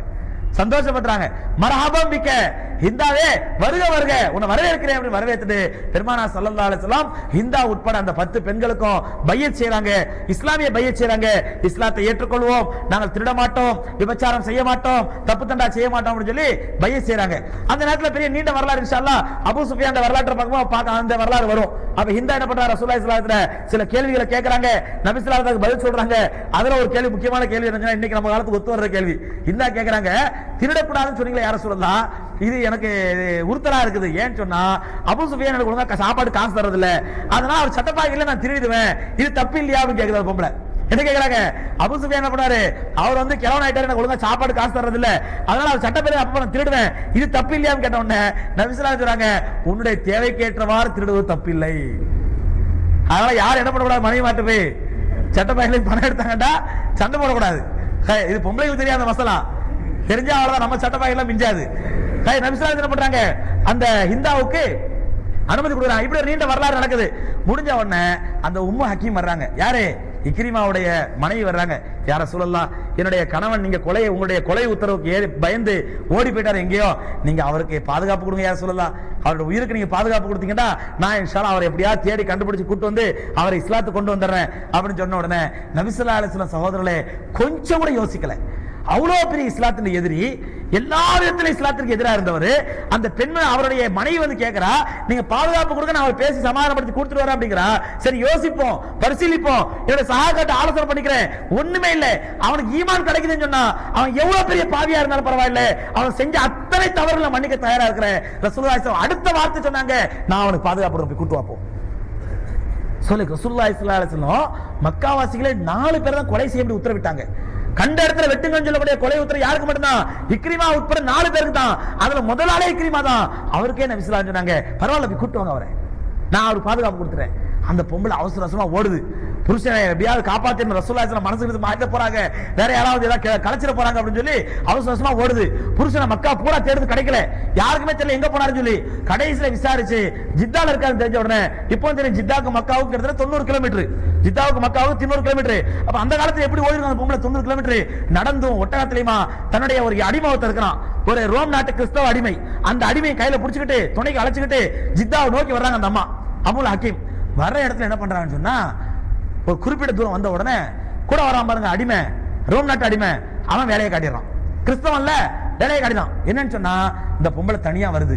புருஷங்கார ஓடி போயிட்டான். அதனால இது கதையை முடிச்சிடலாம் அப்படின்னு சொல்லிட்டு என்ன பண்ணிட்டான்? அந்த உம்முல் ஹக்கீமோட தவறா நடக்க ஆரம்பிச்சிட்டான். அந்த மானபங்கப்படுத்த ஆரம்பிச்சிட்டான். உடனே உம்முல் ஹக்கீம் எங்கன புருஷனை தேடி போய்கிட்டு இருக்கிற? பாவிக்கு அடிமையா இருந்தபடி நீ வேற ஓலை காட்டுறியா அப்படின்னு சொல்லிட்டு போனாங்க. அவனை ஒரு பொம்பளை அவங்க மேல போட்டுருக்க துணியால என்ன பண்றாங்க? முறுக்கி இழுத்து கட்டிட்டு நேர பக்கத்துல ஒரு அரபு முகல்லா இருக்குது. அவங்ககிட்ட இவனை கொஞ்ச நாள் பாதுகாத்துங்க என் அடிமை. என்ன தப்பா நடக்க பாக்குறான். இவன் வச்சுக்க நான் வரபோது பாத்துக்கிறேன் அப்படின்னு சொல்லிட்டு அவன் அங்க உடச்சு ஒப்படைச்சு விட்டு இந்த அம்மா நேர ஜித்தாவை நோக்கி ஓடுது. அங்க என்ன நடக்குது அப்படின்னு சொன்னா இவர் என்ன பண்ணிட்டாரு? இக்ரிமா ஒரு படகுக்காரனை கூப்பிட்டு இந்த மாதிரி நான் வந்து இதுக்கு போனவா யமனுக்கு போனேன்னா ஜித்தால இருந்து யமனுக்கு போகணும்னு சொன்னா கடற்கரை தாண்டி கடலை தாண்டி தான் போகணும். கடல்ல கப்பல்ல தான் போகணும். இப்போ கூட யமனில இருந்து மக்காவுக்கு வரக்கூடிய ஹாஜிகள் பெரும்பாலும் கப்பல்ல தான் வருவாங்க. ஹைர் ஒரு நேரம் பண்றாரு செங்கடலுக்கு போய் அங்க ஒரு படகுக்காரன் கேட்கிறாரு நான் வந்து யமனுக்கு போனோம் என்னை கொண்டு யமன்ல விட்டுரு. எவ்வளவு வேணும்? அப்படின்னு சொல்லி. அப்போ அந்த படகுக்காரன் சொல்றான் ஐயோ கடுமையான சூறாவளியா இருக்குதுங்க. இப்ப படகுலாம் ஓட்ட முடியாது. ஒண்ணு பண்ணுங்க. நீங்க வந்து இஹ்லாஸ் செஞ்சுக்குங்க. அஹ்லீஸ் அப்படின்ற இஹ்லாஸ் செஞ்சுக்கங்க. அப்படி இஹ்லாஸ் செஞ்சுட்டா உங்களுக்கு வந்து இந்த சூறாவளி காட்டலாம் இன்ஷால்லா அடங்கிடும். அப்புறம் என்ன பண்ணலாம்? நான் உங்களை படகுல ஏத்திட்டு போறேன் அப்படின்ற உடனே அவ இவரு இக்ரிமா கேட்கிறாரு இஹ்லாஸ் செய்யறதா அப்படின்னா என்னப்பா? சொல்லு நான் செய்யறேன் எனக்கு எப்படியா எவனுக்கு போய் ஆகணும். இஹ்லாஸ் செய்யறதுனா என்ன? அப்படின்ற உடனே படகுக்காரர் சொல்றாரு அஷத் அல்லா இலஹா இல்லல்லா அஷத் அன்ன முகமது ரசூல்லா இதான் இஹ்லாஸ் அப்படிங்கிறார். பாரு அதுக்கு பயந்தரமா ஓடி வர்றேங்க. அது சொல்ல கூடாது பயந்து ஓடி வர்ற. நீ அங்க வந்து அதை சொல்லுங்கிறிய. அதெல்லாம் முடியாது அப்படிங்கிறார் விக்ரிமா. அப்ப அந்த படகுக்காரர் சொல்றாரு அப்ப முடியாது நானும் முடியாது. என்னால முடியாது சூறாவளி காத்தாருக்கு போக முடியாது. அல்லாஹ் நினைச்சுக்கிட்டு அல்லாஹ் மனசார நம்பிக்கிட்டு படகுல ஏறி நான் அவனை கொண்டு போய் விடுறேன். இல்லைன்னா முடியாது அப்படின்னு சொல்லி தர்க்கம் நடந்துகிட்டு இருந்து இந்த நேரத்தில் இந்த அம்மா வந்துட்டாங்க. யாரு? உம்மு ஹக்கீம் வந்துட்டாங்க. வந்த உடனே இக்ரிமாட சொல்றாங்க இந்த மாதிரி நான் ஒரு சிறந்த மனுஷத்தை வந்திருக்கேன். அவரை மாதிரி நல்ல மனுஷன் இதுவரையும் பார்த்ததில்ல. அவரை மாதிரி தங்கமான மனுஷன் இதுவரையும் பார்த்ததில்ல. என்ன உள்ள அவருக்கு எவ்வளவு பரிசுத்தமான எண்ணம் எவ்வளவு விசாலமான பார்வை நான் அவருக்காண்டி உங்கள்ட்ட பாதுகாப்பு கேட்டிருக்கேன். உடனே பாதுகாப்பு கொடுத்துறாரு அப்படின்னு சொன்ன உடனே யாரை சொல்றாரு முறைக்கிறாரு. யாரு? இக்ரிமா. அந்த அம்மா தைரியமா சொல்லுது. யாரை சொல்றேன்? முகமது ரசூலுல்லா ஸல்லல்லாஹு அலைஹி தான் சொல்றேன். சல்லல்லாஹு தான் சொல்றேன் அப்படின்னு உடனே அந்த மூலையை சொல்லாத நவுது பில்லா திட்டாரு மூதேவி இங்க வார்த்தை எடுத்துட்டாரு. அவர் சொல்லாரு அவருக்கு போய் நான் ஓடி வந்திருக்கிறேன்? அப்படின்னு சொன்ன உடனே இந்த அம்மா சொல்லுது இல்ல இல்ல நான் அவங்களுக்கு உன்ட்ட உங்களுக்காண்டி பாதுகாப்பு கேட்டேன் அப்படின்னு சொன்னேன். இவர் கொஞ்சம் இறங்கி வந்து நீ நேரடியா பேசுனியா? நீ நேரடியா பேசுனியா? ஆமா நானே நேரடியா பேசினேன். என்ன நேரடியா சொன்னாரு உங்களுக்கு பாதுகாப்பு கொடுத்துறாராம் அப்படின்னு அந்த அம்மா கொஞ்சம் கொஞ்சமா அவருக்கு விலக்கி திரும்ப கூட்டிட்டு வருது. இக்ரிமாவை கூட்டிட்டு வருது. கூட்டிட்டு வர்ற வழியில அடிமையை மறக்கல. அடிமையை மறக்கலை சொல்லிட்டு போயிருக்காங்கல்ல அடிமையை பத்தி சொன்ன உடனே இவரப்பட கடுமையான கோவம் வந்துருச்சு. என்னது? ஏன் மனைவி மேலே கையை வச்சிடலாம் அப்படின்னு சொல்லப்படாரு நேரம் அந்த கிராமத்துக்கு போய் அந்த அடிமையை கொண்டு வந்து ஒரே போடு போட்டு ஆளை க்ளோஸ் பண்ணிட்டு புருஷன் பண்ண அடிமை வர்றாங்க. வர்ற வழியில சகோதரர்களே இரவு தங்குறாங்க ஒரு இடத்துல. இரவு தங்குறாங்க. இரவு தங்கும் பொழுது இக்ரிமா தன்னுடைய மனைவியோட சேரணும்னு ஆசைப்படுறாரு. தன்னுடைய மனைவியோட சேரணும் ஆசைப்படுறாரு. அப்ப அந்த அம்மா தடுக்கிறது நான் வரமாட்டேன் அப்படின்றது. இவர் கேட்கிறாரு ஏன் தடுக்கிற? என்ன காரணம் ஆனா முஸ்லீம் வாந்த காஃபிருன். நான் முஸ்லீமா இருக்கிறேன். நீ காஃபிரா இருக்கிற. நீ என்ன தொடக்கூடாது. இக்ரிமாக்கு அப்படியே கை கால்லாம் விழுந்து போச்சு அப்படியே. என்னடா இது? ஒரு நாள்ல இவ்வளவு பெரிய மாற்றமா? நம்ம சொல்றதெல்லாம் கேட்ட நம்முடைய மனைவி. நம்ம சொன்ன பேச்செல்லாம் கேட்ட மனைவி. போர்க்களத்துக்கு நம்மோட வந்த மனைவி. இதே முகமது சல்லா இருக்கிற அவர்களை எதிர்ப்பதற்காக கொள்வதற்காக நம்மோட துணை நின்ற மனைவி. அவருடைய பேச்சை கேட்டு ஒரு வார்த்தை களிமா சொன்னதுனால இப்படி மாறிட்டாலே இவருக்கு அப்படியே ஆச்சரியமாய் போயிடுது. என்னடா என்னுடைய இச்சைக்கு வர மாட்டேங்கிற என் மனைவி? கேட்டா என்ன பார்த்து காஃபின்னு சொல்றா? நீ என்ன தொடக்கூடாது அப்படின்னா நான் முஸ்லீம் ஆயிட்டேன். நீ காபிரா இருக்கிற என்ன தொடக்கூடாதுன்னு சொல்றாளே. சோதரி சஹாபாக்களோட இந்த உணர்வு பாருங்க சகோதரர்களே. எதிர்க்கும் பொழுது அப்படி எதிர்த்தார்கள். ஈமான் கொண்ட பிறகு உயிரே போனாலும் சரி அல்லாவுக்காக வேண்டி தயாரா இருந்தாங்க. சரி இதற்கு பேர் தான் உண்மையான ஈமான்ங்கிறது. இதுக்கு பேர் தான் சஹாபாக்களுடைய வாழ்க்கைங்கிறது. நம்மள மாதிரி ஆத்துல ஒரு கால் சேத்துல ஒரு கால் வச்சுக்கிட்டு ஐக்கிய ஐக்கியா இருக்கலாம் அவங்க. இருந்தா உண்மையான முஸ்லீமா உறுதியான முஸ்லீமா இருப்பேன். இல்லைன்னா இஸ்லாத்துக்கு எதிரியா இருப்பேன். சோழ நிச்சயமா நம்ம இஸ்லாத்துக்கு எதிரியா இருக்க மாட்டோம் நவுதுபில்லா. ஆனா இஸ்லாத்துக்கு வந்துட்டோம். இஸ்லாத்தை ஏத்துக்கிட்டோம். இஸ்லாத்தை மனப்பூர்வமான மார்க்கமா ஏத்துக்கிட்டோம். ஆனால் அந்த இஸ்லாத்துல இருப்பதையே நமக்கு என்ன நினைக்கிறோம்? பெரிய ஏண்டா இஸ்லாத்துல வந்தோமோன்னு நினைக்கிறோம். சகோதரர்களே அந்த பெண்மணி என்ன சொன்னாங்க? அந்த ஆனா முஸ்லிமத்தோன் அந்த காஃபிரும் நான் முஸ்லீம். நீ காஃபிர் என்ன தொடாத. நீ கலிமா சொல்றத தொடக்கூடாது அப்படின்றாங்க. அபு அபு இக்ரிமாவுக்கு இதுவே பெரிய அடியா இருக்குது. சரி வராரு நபிசுல்லாத்துல வராரு வந்த உடனே சகோதரர்களே அவரு அப்ப கூட நேரம் வரல. நான் ஒரு வீட்டுல உட்காந்துக்கிறேன். நீ ரசூலா போய் சொல்லு. திரும்ப பாரு. நான் நீ இங்க வந்து என்ன கூட்டு போறதுக்குள்ள அங்க ஏதாவது மனசு இருந்து மாறி இருக்க போது அதனால திரும்ப போய் பாரு. திரும்ப மறுபடியும் வாக்கு கொடுத்தா நான் வர்றேன் அப்படின்னு சொன்ன உடனே அந்த அம்மா வந்து கேக்குது. நபிசுல்லா சொல்றாங்க லேஷல் இஸ் நபி லேஷலி நபி ஐயோ ஹாலிஃப வாதஹு ஒரு நபிக்கு அழகல்ல அவர் வாக்கு கொடுத்தால் அதை மீறுவதற்கு. வாக்கு கொடுத்தால் மீறுறது ஒரு நபிக்கு அழகல்ல. நான் வாக்கு கொடுத்த மீற மாட்டேன். உன்னை கணவன் அணைச்சிட்டு வான்றாங்க. அந்த அம்மா போறாங்க அழைக்கிறதுக்கு. போனோன்னு நபிசுல்லா உட்காந்துருக்காங்க சஹாபாக்கள் சபையில். சஹாபாக்களை பார்த்து ரசூலா சொல்றாங்க சயாத்தி இக்ரிமா இப்படி அபிஜகல் சயாத்தி இக்ரிமா இப்படி அபுஜகல் நம்முடைய இஸ்லாத்திலே பெரிய எதிரியா இருந்தானே பெரிய வில்லனா இருந்தானே. அந்த அபூஜகளுடைய மகன் இக்ரிமா வந்துட்டு இருக்காரு லாத்த சுப்பு அபாகு நீங்க யாரும் தெரிஞ்சோ தெரியாம கூட மறந்து கூட அவருடைய தந்தையை திட்டிடாதீங்க. சொல்ல பாருங்க நீ இஸ்லாத்துக்கே வரலை. இஸ்லாத்துக்கு வரப்போறாரு. ஆனா அவருடைய உள்ளம் கூட வருத்தப்படாத கூடாதுங்கிற இஸ்லாத்து எவ்வளவு உறுதியா இருக்கிறாங்க பாருங்க. நீங்க தெரிஞ்சோ தெரியாம கூட மறதியா கூட அவருடைய தந்தையை திட்டிடாதீங்க. ஏன் சொன்னா இன்ன சப்பல் அம்வாத்தி நாம் இறந்தவர்களை திட்டுவோமேனால் லா எவ்வளவு மையத்தை. அந்த திட்டுதல் என்பது இறந்தவர்களை போய் சேருவதில்லை. ஆனா யூதில் ஹைய உயிரோடு இருப்பவர்களை இது வேதனைப்படுத்தும். மௌத்தா போனவங்களை போய் திட்டினோம்டாக்கா அவங்கள போய் சேருமா அது? ஆனா அவங்களுக்கு நெருக்கமானவங்க முகப்பத்தானவங்க யாரா இருந்தாலும் வச்சுங்க அவங்களுக்கு என்ன இருக்குது? என்ன இருக்கும் வேதனை அளிக்கும். அதனால விசாரிச்சுறாங்க இறந்து போன அபுஜால யாரும் திட்டிடாதீங்க. ஏன்னா யாருக்கு வேதனை அளிக்கும்? இக்ரிமாவுக்கு வேதனை அளிக்கும். சோழ இக்ரிமா ரதியல்லான்னு வர்றாங்க. இக்ரிமா வர்றாரு. வந்த உடனே ரசூலுல்லாஹி இஸ்லாம் ஆர்வத்தோட சந்தோஷத்தோட அப்படியே எழுந்துச்சு ஓடுறாங்க. ஓடுறதுல அவங்க மேல் துண்டு கீழே விழுந்துருது. அவங்க மேல போட்டுக்க துண்டு கீழே விழுந்துருது. அதை பத்தில பொறுப்படுத்தல விசாரத்துல அப்படியே போய் இக்ரிமாவை கட்டி அணைச்சு கையை பிடிச்சி அப்படியே கூட்டிட்டு வராங்க. கூட்டிட்டு வந்த பிறகு கூட இக்ரிமா அடங்கல. என்ன சொல்றாரு? முகமது என்ன கூப்பிடுறாரு ரசூலுல்லாஹி இஸ்லாத்தை அலைஹி ரசூல் தான் சொல்லல அப்போ நபி ஸல்லல்லாஹு பேரை சொல்லி தான் கூப்பிடுறாரு. முகமதே நீங்க என்ன சொல்றீங்க என்ன சொல்றீங்க சொல்லுங்க அப்படிங்கிறாரு. நபி ஸல்லல்லாஹு அலைஹி அழகா சொல்றாங்க அந்த தஷ்ஹத் அல்லா இலாஹ இல்லல்லாஹ் வ அன்னி ரசூலுல்லாஹ். நீ அல்லாவை தவிர இறைவன் யாரும் இல்லை ஏற்றுக்கணும் என்னதான் நீ ரப்பா என்னதான் ரசூலா ஏற்றுக்கணும் அப்படின்னு சொல்லி இஸ்லாத்திலே கட்டளை போல சொல்றாங்க. சொன்ன உடனே சரி அடுத்து என்ன அடுத்து என்ன அப்படின்னு கேட்குறாரு நபி ஸல்லல்லாஹு ஒண்ணா சொல்றாங்க துகைம ஸலாத்த தூத்தி ஜகாத்த நீ தொழுகை நிலைநாட்ட வேண்டும் ஜக்காத்தை கொடுக்க வேண்டும். மூமின்களோடு நல்ல முறையில் நடந்துக்கணும் அன்பா நடந்துக்கணும். அன் துஜாஹித ஃபீ சபீலில்லாஹி பி அம்பாலிக்க அன்புசிக்க அன்ஃபுசிக்க உன்னுடைய உயிரை கொண்டும் பொருளை கொண்டும் அல்லாவுடைய பாதையிலே ஜிஹாது செய்யணும் போர் செய்யணும். இது எல்லாம் ரசூலுல்லாஹி சொன்ன உடனே சோல் எல்லாத்தையும் கேட்டுட்டு அமைதியாக சொல்றாரு அந்த குல்த இல்லா ஹைரா நீங்க இதுவரை சொன்னது எல்லாமே நன்மை தவிர வேறில்லை. ஆனா இதெல்லாம் நான் முழுமையா காதால கேட்காம தான் ஏதோ உங்களை ஏத்துக்கிட்டு இருந்தேன். முழுமையா விளங்காம தான் ஏத்துக்கிட்டு இருந்தேன். இப்ப நீங்க சொன்னது எல்லாமே உண்மை சத்தியம் அப்படின்னு சொல்லி கையை எடுத்து ரசூல்லாய் சல்லா இடத்துல அஷத் அல்லா இலாஹ இல்லல்லாஹ் அஷத் அன்ன முகமது ரசலாம் சொன்னார். சொன்ன சகோதரர்களே நபிசல்லா அலிஸ்லாம் எவ்வளோ குழுந்து எவ்வளவு போயிடுறாங்க எவ்வளவு சந்தோஷமாயிடுறாங்க அப்படின்னு சொன்னா இக்ரிமாட்ட சொல்றாங்க இக்ரிமாவே நீ ஃபஸ்அல்னி இனி இனி நான் எவ்வளவு சந்தோஷமா இருக்கேன்னு சொன்னா ஃபைதா சால்த ஷையன் இல்லா ஆத்தைத்துக்க நீ என்ன கேட்டாலும் நான் உனக்கு தருவேன். என்றால் கேளு. நீ ஏதாவது கேளு. நான் இப்ப என்ன கேட்டாலும் உனக்கு தருவேன். அவ்வளவு சந்தோஷமா இருக்கிறேன். ஏதாவது கேளு. ஏதாவது கேளு. சகோதரர்களே இக்ரிமா யார சொல்லுதா உங்களுக்கு பிறகு நான் தான் ஹலீஃபாவா இருக்கணும். நான் தான் மதினாவுக்கு ஆட்சியாளராக வரணும். முஸ்லீம்களுக்கு நான் தான் தலைவனா இருக்கணும். இதெல்லாம் கேட்கல சகோதரர்களே. ஈமான் கொண்ட உடனேயே அவர்களுக்குள்ள அல்லாஹ் எப்படிப்பட்ட மாற்றத்தை ஏற்படுத்துகிறான் பாருங்க. சொல்கிறாங்க சொல்றாங்க ஃபஸ்அல்னி ஃபிதா சால்தனி ஷையன் இல்ல ஆபைத்துக்க நீ எதை கேட்டாலும் சரி இப்போ நான் உடனே கொடுப்பேன் கேளு அப்படிங்கிறாங்க. சோர்லே இக்ரிமா ரலியல்லாஹு தஆலா சொல்றாங்க யார சொல்லலாம் நான் கேட்கறதுக்கு ஒண்ணுமே இல்ல. உங்களை எவ்வளோ எதிர்த்து எவ்வளோ எதிர்த்து உங்களை எவ்வளோ அநியாயம் பண்ண அந்த அநியாயங்கள் எல்லாம் மன்னிக்க முடியும் கேளுங்க அது போதும் எனக்கு. சார் அவங்க உணர்வு பாருங்க. ஆனா ஈமானுடைய உணர்வு பாருங்க. யார சொல்ல உங்க உங்களுக்கு எவ்வளவு அநியாயம் பண்ண உங்களுக்கு எவ்வளவு அட்டூழியம் பண்ண? உங்களுக்கு நான் தொல்லை கொடுக்காத தொல்லை இல்ல. செய்யாத கஷ்டம் இல்ல.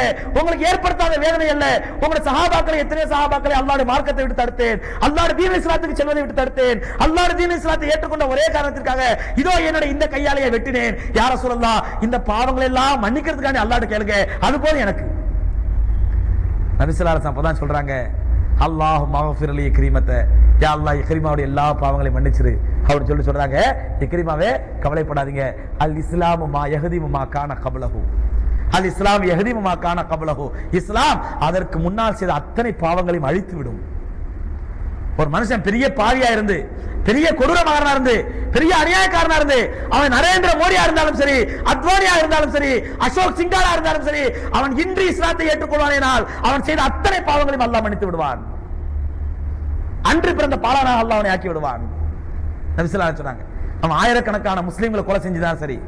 ஆயிரக்கணக்கான அப்பாவி முஸ்லீம் பெண்களை அவன் பாரபந்தப்படுத்தி இப்ப தற்கொலை கற்பழிச்சிருந்தாலும் சரி அநியாய இஸ்லாமிய உயிர்களை குழந்தைகளை பச்சில குழந்தைகளை நெருப்புல போட்டு சரி அவன் இப்பொழுது இஸ்லாத்தை ஏற்றுக்கொள்வானேனால் அடுத்த வினாடி அல்லா இடத்துல மன்னிக்கப்பட்டவனாகின்றான் அன்று பிறந்த பாலகனை போல் மாறிவிடுகின்றான். அல் இஸ்லாமிய எஹதியுமா கான கபலகு சொல்றாங்க. இதை கேட்ட சகோதரர்களே ஹதரத் இக்ரிமா ரதி அல்லாஹு அன்ஹு ஆகிறார்கள். இக்ரிமா இப்னு அபூ இருந்தவர்கள் இக்ரிமா ரதியல்லாஹு அன்ஹு ஆகிறார்கள். கியாமத் நாள் வரை வரக்கூடிய மக்கள் அவருடைய பெயரை கேட்ட மாத்திரத்திலேயே ரதியல்லாஹு அன்ஹு என்று வாய் நிறைய சொல்லக்கூடிய பாக்கியத்தை பெறுகின்றார்கள். இக்ரிமா ரதியல்லாஹு தஆலா அன்ஹு அதற்கு பிறகுதான் சகோதரர்களே அவருடைய உண்மையான வாழ்க்கையை ஆரம்பமாகுது பெருமானா சல்லல்லாஹு வஃபாத்துக்கு பிறகு அந்த மற்ற மத்த பக்கத்து வெற்றிக்கு பிறகு ரசூல்லா இஸ்லாத்துல ஒரே வருஷம் தான் உயிரோடு இருக்கிறாங்க ஹயாத்தா இருக்கிறாங்க. ரசூலுல்லாஹி ஸல்லல்லாஹு எவ்வளவு முகப்பத் ஆயிட்டாங்கன்னு அதுக்கப்புறம் பெருமானா சொல்லலா இருக்கலாம் எந்த போர் நடந்தாலும் சரி அதுல முதல் நாளை கிரிமா அனுப்பாங்க யார சொல்லலாம் நான் இஸ்லாத்திற்கு எதிராக எவ்வளவோ போர் புரிந்து விட்டேன் இஸ்லாத்திற்கு எதிராக எவ்வளவோ அநியாயங்கள் செய்து விட்டேன் அவை அனைத்திற்கும் கஃபாரா என்னவென்றால் இனி என்னுடைய வாழ்க்கையில் நடக்கக்கூடிய அல்லாவுடைய பாதையில் நடக்கக்கூடிய எந்த ஒரு ஜிஹாதில் நான் கலக்காமல் இருக்க மாட்டேன் அப்படின்னு சொல்லி உறுதி பண்ணிட்டு அவர் அத்தனை ஜிஹாதிலையும் கலந்துக்கிறாங்க. சகோதரர் இதற்கு பிறகு என்ன ஆகுது அப்படின்னு சொன்னா எருமூக்கு யுத்தம் என்று சொல்லக்கூடிய அதற்கு உமர் ரதி ஆட்சி காலத்திலே ஒரு பிரபலமான யுத்தம் நடக்குது எருமூக்கு யுத்தம். அந்த யுத்தத்திலே ஹாலித் இப்னு வலீத் ரதி தலைமையில ஒரு பெரிய படை போறாங்க. படை போனா ரோம் நாட்டு மன்னர்களுக்கு எதிராக நடக்குது. ரோமானியர்களுக்கு எதிராக நடக்குது அந்த போர் எருமூக்கு யுத்தம்.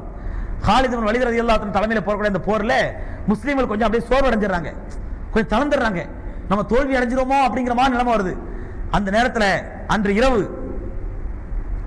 ஹதரத் ரதி ரதியல்லாஹு தஆலாஹு எழுந்திருச்சு மக்கள்கிட்ட பேசுறாங்க. மக்களே சோர்வடையாதீங்க தளராதீங்க. அல்லாஹ் நமக்கு நரகத்திலே பாதையின் பக்கம் செலுத்திக் கொண்டிருந்தான். நாம் அதே நிலையில் மரணித்திருந்தால் நேரா நரகத்துக்கு போயிருக்கோம். ஆனா அல்லாஹ் ரபுல் ஆலமீன் நமக்கெல்லாம் இதாயத்தை கொடுத்து சொர்க்கத்திலே பாதையை காட்டினா இப்ப நாம் மரணிக்கக்கூடிய மரணம் தான் அல்லாஹ் இடத்துல உயர்வான மரணம். ஆகவே யார் யாரெல்லாம் நாளைக்கு மரணிப்பதற்கு தயார்? என்னிடத்துல பைய செய்யுங்க அப்படிங்கிறாங்க. யார் யாரெல்லாம் நாளைக்கு மரணிப்பதற்கு தயார்? எதை பத்தி யோசிக்க வேண்டாம். சாதாரண அந்த ப்ரொசீஜரா நடக்கக்கூடிய போர்லாம் இல்ல. தற்கொலை பட. பூந்திர வேண்டியதா உள்ள. பூதை அடிப்போம். எத்தனை பேர் அடிக்கிறோம் அடிப்போம்? நம்மளும் ஷஹீதாவோம் உயிரை மாய்ப்பதற்கு யார் யார் தயார்? என்னிடத்துல பைய சகோதரர்களே நானூறு சகாபாக்கள் அதற்கு இக்ரிமா ரதி அல்லாஹோட பைய நானூறு சகாபாக்கள் அப்போ அமீர் யாருன்னா ஹாலித் வலிது. பெரிய வீரர். அல்லாவுடைய போர்வாள் என்று வர்ணிக்கப்பட்டவர். அந்த ஹாலிது வலிது இக்ரிமாவை கூட சொல்றாங்க இக்ரிமாவே நீங்க அவசரப்படாதீங்க. தயவு செஞ்சு அவசரப்படாதீங்க. ஏன்னு சொன்னா நீங்க ஷஹீத் ஆயிட்டீங்கன்னா அது முஸ்லீம்களுக்கு பெரிய வேதனை ஆயிடும் பெரிய இழப்பாயிடும். அதனால தயவு செஞ்சு நீங்க ஷஹீத் ஆயிடாதீங்க நீங்க தயவு செஞ்சு கொஞ்சம் அமைதியா இருங்க. இன்ஷால திட்டம் வகுத்து உள்ள போகலாம். அதற்கு இக்ரிமா ரதி அன்ஹு கேட்கறேன் என்ன ஹாலிதே என்ன ஹாலிதே இஸ்லாத்திற்கு முன்னால் எப்படிப்பட்ட வீரராக இருந்தீர்? இஸ்லாத்தை அழிப்பதற்கு எனக்கு எத்தனை விதத்தில் உதவியா இருந்தீர்? பதிலே உதவியா இருந்தீர்? உஹதிலே உதவியா இருந்தீர்? ஹந்தக்கிலே உதவியா இருந்தீர்? அத்தனையிலும் இஸ்லாத்தை அழிப்பதற்கு. ஆனால் இப்பொழுது இஸ்லாத்தை காப்பதற்காக என் உயிரை மாய்க்கப் போகிறேன். நீங்க தடையா இருக்க போறீங்களா? பெருமானாரை எதிர்த்தவனான் இந்த ரோமானியர்களை பார்த்தா பயப்பட போகிறேன். தயவு செய்து தடுக்காதீங்க. எனக்கு அனுமதித்தாங்க. ஏன்னா அமீருடைய அனுமதி இல்லாமல் செய்யக்கூடாது. அனுமதித்தாங்க. ஹதரத் ஹாலித் பின் வலித் ரலியல்லாஹு தன்னோட வீரத்தையும் ஆவேசத்தை பார்த்துட்டு இவர் ஷஹீதாவன முடிவு பண்ணிட்டாரு. ஷஹீதாவை முடிவு பண்ணிட்டாரு. இவரை தடுக்க முடியாது அப்படின்னு சொல்லி முடிவு பண்ணிட்டு ஹதரத் ஹாலித் பின் அனுமதிச்சாங்க சகோதரர்களை மறுநாள் காலையில போர் ஆரம்பிச்சு ஆரம்பிக்காமையும் அவங்கள்ட்ட பைய செஞ்ச நானூறு பேரும் அதற்கு இக்ரிமா ரலியல்லாஹு அல்லாத்தனோட பைய செஞ்ச நானூறு பேரும் அப்படியே போர்க்களத்தில் நுழைறாங்க போர்க்களத்தில் நுழைறாங்க வெட்டுறாங்க. எதுல கண்டவள வெட்டுறாங்க? சகோதரர்களே அந்த எருமூக்கித்தத்திலே எருமூக்கித்தத்திலே நானூறு சகாபாக்கம் செய்தானார்கள் எந்த நோக்கத்திற்காக பைய செய்தார்களோ? எந்த நோக்கத்திற்காக அதற்கு கிரிமா ரலியல்லாஹு தஆலா கையை கொடுத்து பைய செய்தார்களோ அந்த பையத்தை நிறைவேற்றினார்கள். நானும் ஒரு பேரும் சகிதானாங்க போர்க்களம் முடிஞ்ச பிறகு போர்க்களம் முடிஞ்ச பிறகு சகோதரர்களே போர்க்களத்தை தேடி பார்க்குறாங்க. ஒரு பக்கம் இக்ரிமா ரதி தஆலா அன்ஹு அப்படியே உயிர் இழுத்துக்கிட்டு கிடக்குது. குற்றுயிரும் குலையுருமா கிடக்குறாங்க. கொஞ்சம் தள்ளி ஹாரிஸ் இப்னு ஹிஷாம் இவங்க யாருன்னு சொன்னா இக்ரிமாவுடைய சின்னத்தா. சொன்னோம்ல அபுஜகளுடைய தம்பி.